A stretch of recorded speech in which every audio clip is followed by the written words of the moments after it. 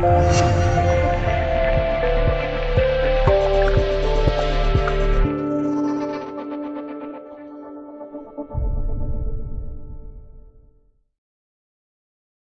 我国古代的历史之上，曾经存在着很多的著名皇帝存在，就像是在商朝时期的商纣王，在周朝时期的周武王姬发，秦朝时期的嬴政等等，这些都是历史上相当著名的皇帝。但是这些皇帝都有一个共同点，那便是对于他们自己内心之中对于天下的认同，甚至还有他们对于百姓的认同，但更多的是对于他们自己皇位的肯定。但是在历史之上，还有一位最非常出名的皇帝，而且他在历史上还是非常出名的。而且他不仅对于他自己的天下感到一些不认同，甚至他还不想成为一个皇帝。他便是明朝历史之上最出名的皇帝万历皇帝。万历皇帝在历史之上是非常出名的。当然，这种出名并非他本人的不认同，更多的是对于他在皇位之上所做时间的不认同。因为他在位期间的种种不作为，不仅仅是对于他本人的不负责任，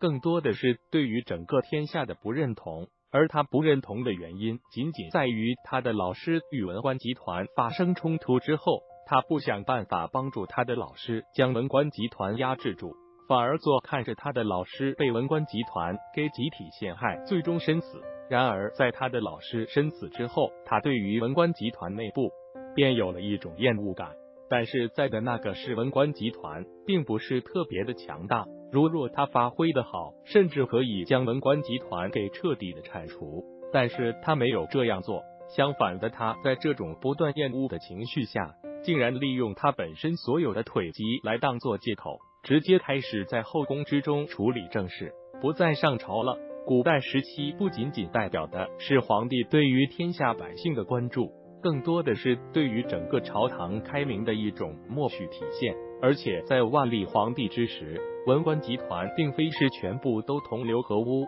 还有很多的文官与他的老师一样，根本不理会文官集团，他们一直在等待万历皇帝上朝，然后亲自将奏折提交给万历皇帝，但是他却一直在后宫之，虽然并不是特别迷恋美色，但他却将奏折的上交路途给了文官集团。让那些清廉的大臣不断的遭受到文官集团的压迫，最终去世，甚至被文官集团诬陷贬官等等。而且在这期间，万历皇帝都没出过宫，对于天下形势几乎是处于一种默认的态度，即您是从奏折之上看世界，一直自暴自弃，最终整个朝堂几乎都被文官集团掌控，这也能说是一种悲哀。在整个文官集团的控制下，明朝一直在走下坡路时，被横空出世的魏忠贤掌控组织了下滑。但最后的结局却是崇祯皇帝在文官集团的迷惑之下，直接将魏忠贤斩杀，